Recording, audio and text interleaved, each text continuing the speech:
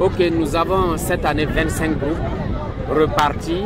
Euh, vraiment, on a 550 étudiants qui iront à l'immersion. Donc chaque groupe est composé de différentes filières de première et de deuxième année. Ça permet donc à un étudiant de droit de côtoyer un autre de sciences éco et de GRH et ainsi de suite. Donc ça permet de briser les barrières qu'il y a généralement entre les filières et puis permettre aux étudiants de se connaître parce que vous savez très bien que euh, le monde est fait de réseaux. Et parmi ces étudiants, on a des futurs présidents, on a des futurs ministres, on a des futurs députés, on a des futurs cadres d'entreprise.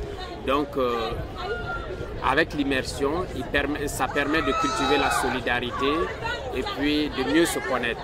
Donc demain, quand ils seront à des hauts postes de responsabilité, ils vont faire naturellement appel aux étudiants de l'IAM.